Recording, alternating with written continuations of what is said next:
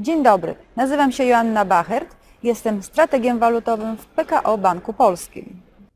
Drugi kwartał 2019 roku przyniósł umocnienie złotego. Na koniec czerwca kurs euro do złotego wynosił około 2,24, to 7 groszy poniżej notowań z końca marca bieżącego roku. Z kolei kurs dolara do złotego spadł do 3,73, czyli był 11 groszy niżej niż w stosunku do zamknięcia pierwszego kwartału.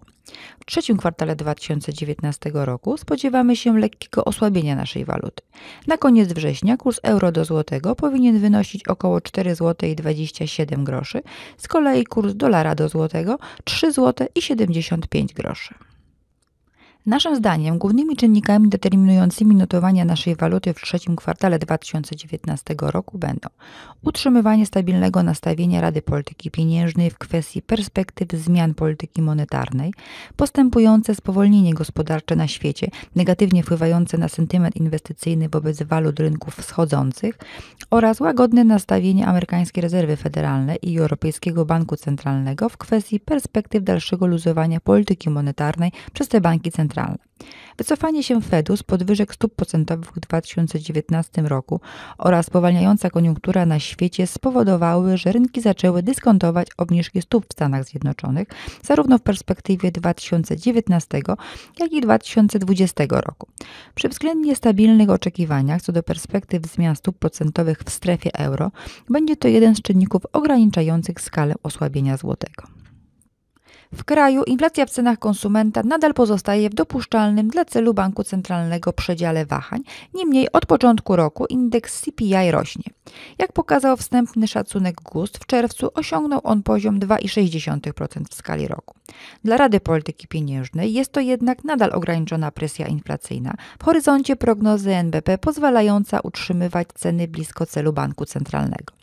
Wraz z łagodnym stanowiskiem Europejskiego Banku Centralnego w kwestii zacieśniania polityki monetarnej w strefie euro, będzie ona wpływać na stabilne nastawienie Narodowego Banku Polskiego do polityki stóp procentowych w trzecim kwartale 2019 roku i utrzymywać złotego pod dominującym wpływem zmian sytuacji na rynkach globalnych.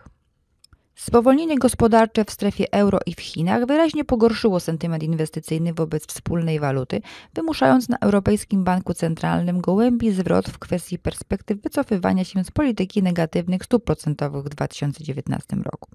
Prezes Banku Centralnego Mario Draghi zaczął pesymistycznie wypowiadać się o gospodarce strefy euro, wskazując na możliwe cięcia stóp, gdyby gospodarka nadal borykała się z problemami. Wyraźny zwrot w kierunku możliwego złagodzenia polityki w najbliższym czasie uczynił też Fed, rezygnując podczas czerwcowego posiedzenia decyzyjnego z zapisu o pozostaniu cierpliwym w polityce monetarnej na rzecz sygnalizacji ograniczonych obniżek stóp procentowych w drugiej połowie 2019 roku.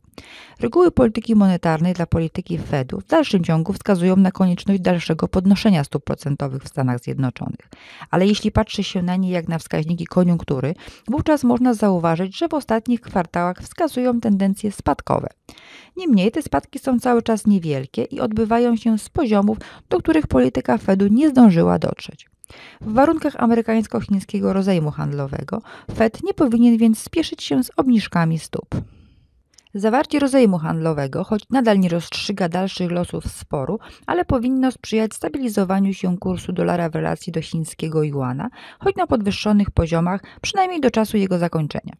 Naszym zdaniem w perspektywie trzeciego kwartału może to sprzyjać przynajmniej ograniczonemu osłabianiu się kursu złotego wobec euro.